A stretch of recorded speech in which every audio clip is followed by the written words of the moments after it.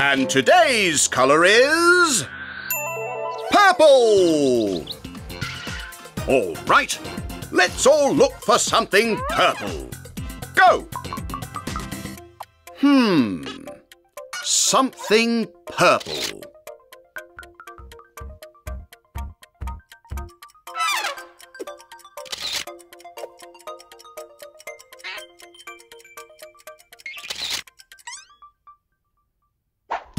All right, let's see your pictures. A purple ball. A purple umbrella.